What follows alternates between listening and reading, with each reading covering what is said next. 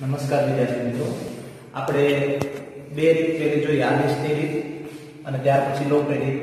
અને આ ત્રીજી રીત છે આપણે ચોકડી ગુણાકાર રીત ક્રોસ મલ્ટિપ્લિકેશન મેથડ અને ચોકડી ગુણાકાર રીતને બીજું ક્રેમર રીત તરીકે પણ ઓળખાય છે. ક્રેમર રીતની અંદર ખાસિયત શું છે કે આપણે સમીકરણ હોય ને જે આપેલું એને સૌપ્રથમ વ્યાપક સ્વરૂપ સાથે સરખાવવાનું વ્યાપક સ્વરૂપ મેં તમને સૌપ્રથમ સમજાવી દઉં કે એક્સ વત્તા બીવાય વત્તા સી બરાબર જીરો મતલબ ડાબી સાઈડ બધી સંખ્યા અને જમણી બાજુ ફક્ત જીરો હોવું જોઈએ. જો ના આપેલું આપણે વ્યાપક સ્વરૂપમાં સરખાવી એ સમીકરણ મેં લખ્યું છે. ઉદાહરણ એક્સ માઇનસ ત્રણ બરાબર -5 છે.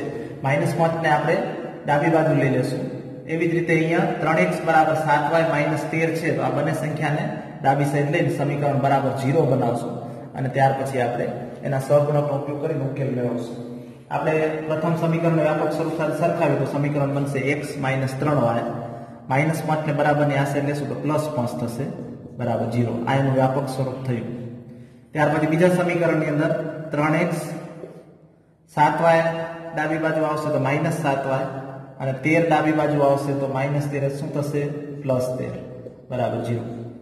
જમણી બાજુ બરાબર જીરો બચે, એટલે આપણે એનું વ્યાપક સ્વરૂપ થાય. તો આ વ્યાપક સ્વરૂપ સાથે આપણે સરખાવ્યા.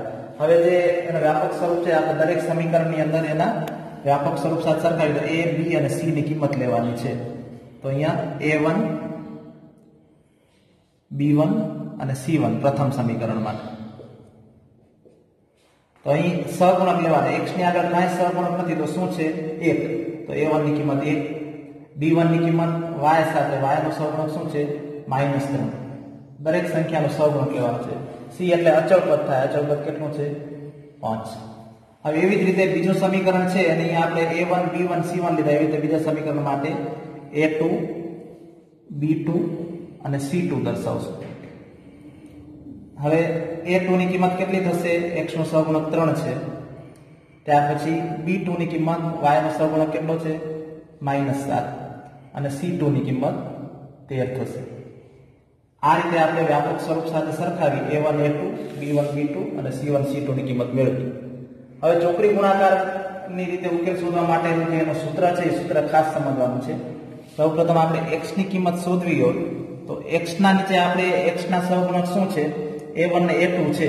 A1 ને a2 આપણે ન લેવાના, એના સિવાયના બાકીના લેવાના. એટલે આપણે ડાબી બાજુ, જમણી બાજુ તરફ ચાલ્યા જશું. એના સિવાયના સહગુણક શું છે? તો b1 b2 c1 c2 ત્યાર પછી આપણે વાય વાયની કિંમત શોધવી હોય. આપણે વાયના સહગુણક ધ્યાનમાં ના લેવા y ના સહગુણક b1 b2 છે. એના સિવાય શું બચ્યું? C1 c2 અને a1 a2 અહીંયા તમે ખાસ ધ્યાનમાં રાખવાનું વિદ્યાર્થી મિત્રો, કે જો તમે પ્રથમ a1 a2 અહીંયા લખશો c1 c2 ની જગ્યાએ, તો તમારા નિશાનની ફરક આવશે, જવાબ ખોટો આવી શકે. આપણે ડાબી બાજુ જમણી બાજુ તરફ ચાલ્યું જવાનું છે. જ્યારે અહીં કિંમત લખી, ત્યારે આપણે b1 b2 c1 c2 લખ્યા. Y ની કિંમત લખો, ત્યારે આ કિંમત ધ્યાનમાં લેવાની. C1 c2 અને a1 a2 અને લાસ્ટમાં અચળ પદ એટલે એક. અચળ પદની કિંમત લખો, ત્યારે c1 c2 ધ્યાનમાં ન લે, તો શું બચ્યું? A1 a2 અને b1 b2 અહીં તમે જોઈ શકો છો પ્રથમ પદ હતો એની અંદર b1 b2 પ્રથમ આવ્યા પછી c1 c2 અને a1 a2 આ રીતે આપણે સૂત્ર બનાવી દેવાનું. હવે એના જે સહગુણક છે એની કિંમત મૂકશું તો x b1 b2 ની કિંમત કેટલી થશે? તો b1 ની કિંમત છે માઇનસ ત્રણ અને b2 ની કિંમત છે માઇનસ સાત. માઇનસ ત્રણ અને -7 c1 c2 ની કિંમત પાંચ અને 13 5 અને તેર. ત્યાર પછી વાય. સી વન સી ટુની કિંમત કેટલી છે? પાંચ અને તેર. A one A two A one A ટુની કિંમત કેટલી છે? એક અને ત્રણ. બીજો અચળ પદ હતો, એક. એમાં એ વન એ ટુની કિંમત એ વન એ ટુની કિંમત એક અને ત્રણ. અને b1 b2 એટલે માઇનસ ત્રણ ને -7 -3 ને -7 હવે આપણે વિદ્યાર્થી મિત્રો સૂત્ર લખી અને એની અંદર કિંમત મૂકી દીધી. હવે આપણી રીતનું નામ છે ચોકડી ગુણાકાર એટલે ક્રોસ મલ્ટિપ્લિકેશન હવે આપણે અહીં ક્રોસ મલ્ટિપ્લિકેશન કરવાનું છે સહગુણકનું. તો હવે આપણે અહીંયાથી શરૂઆત કરશું. ત્રણ નો ક્રોસ ગુણાકાર કરો ત્રણ નો ગુણાકાર તેર સાથે થાય અને સાત નો ગુણાકાર પાંચ સાથે થાય. આવી રીતે ક્રોસ ગુણાકાર કરીને બંનેની બાદબાકી કરવાની છે. ખાસ ધ્યાનમાં રાખવાનું. તો પેલું પદ આપણે સમજવું ખ્યાલ આવશે તમને. એક્સ x નો આપણે ક્રોસ ગુણાકાર લેશું તો અહીંયા ત્રણ અને તેર નો ગુણાકાર થાય. માઇનસ ત્રણ અને તેર. આવી રીતે આનો ગુણાકાર અને પાંચ અને સાત નો ગુણાકાર થાય ક્રોસ ગુણાકાર. માઇનસ ત્રણ અને તેર. ગુણાકાર કર્યો. ત્યાર પછી વચ્ચે માઇનસની નિશાની મૂકશું. માઇનસ માઇનસ સાત અને પાંચ નો ગુણાકાર. માઇનસ સાત અને પાંચ. બરાબર. વાય. જેમ આપણે એક્સની ગુણાકાર કરીએ એવી રીતે વાય નો ગુણાકાર કરશું, અહીંયા પાંચ અને ત્રણ નો ગુણાકાર થાય અને તેર અને એક નો ગુણાકાર થાય. પાંચ અને ત્રણ. વચ્ચે માઇનસ નિશાની.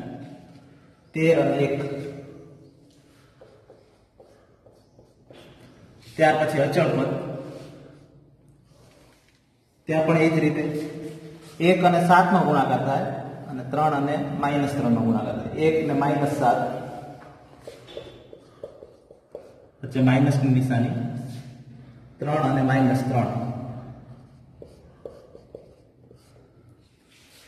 હવે આપણે એનો ગુણાકાર કરશું. ગુણાકાર તમારે ખાસ નિશાની ધ્યાનમાં રાખવાની કે બે વખત માઇનસ પ્લસ થઈ જશે. એક કે ત્રણ વખત માઇનસ જ રહેશે. અહીંયા આપણે ગુણાકાર કરશું. માઇનસ ત્રણ ને તેર. તો વત્તા ઓછા વત્તા ઓછા થાય તો તેર તેરી ઓગણચાલીસ માઇનસ આ માઇનસ અને માઇનસ માઇનસ માઇનસ પ્લસ થઈ જશે પ્લસ સાત પચાસ પાંત્રીસ બરાબર વાય પાંચ તેરી પંદર તેર એકા તેર થશે વચ્ચે એક જ માઇનસ છે માઇનસ તેર બરાબર એક વત્તા ઓછા ઓછા થશે સાત એકા સાત માઇનસ અહીંયા માઇનસ છે અને આ માઇનસ માઇનસ માઇનસ પ્લસ થઈ જશે. ત્રણ તેરી નવ.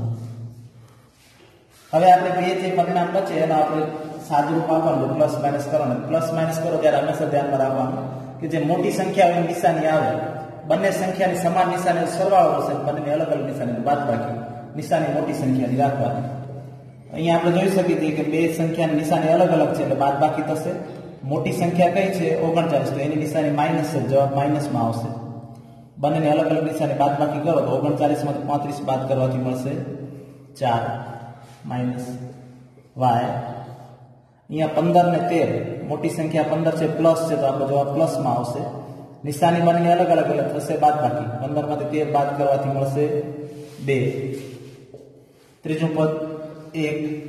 માઇનસ સાત ને પ્લસ નવ. મોટી સંખ્યા શું છે?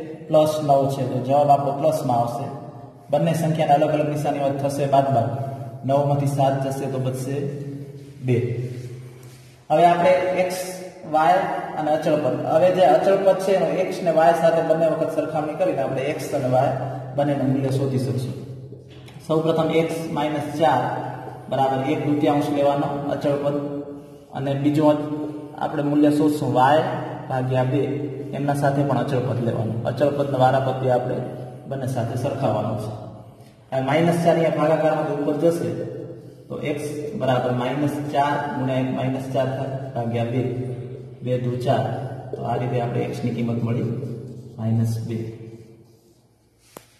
એવી જ રીતે વાયની કિંમત બે ભાગાકારમાંથી ગુણાકારમાં જશે, બે એક બે ભાગ્યા બે. અહીંયા ઉડી જશે. બે એક, બે. તો વાયની કિંમત મળી. એક. તો આપણે સમીકરણ યુગમાં ઉકેલ શું મળશે?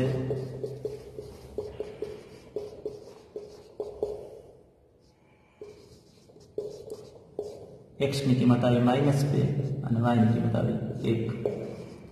આ રીતે આપણે ચોકડી ગુણાકાર રીતનો ઉપયોગ કરી અને સમીકરણ યુગનો ઉકેલ શોધી શકીએ. ચોકડી ગુણાકાર અંદર સૌથી મહત્વનું છે કે તમે નિશાનીની ખૂબ કાળજી રાખો, ગણતરી કરતી વખતે. ગણતરીની મેથડ છે એ સરળ છે સરળ સમજી શકીએ એવું છે.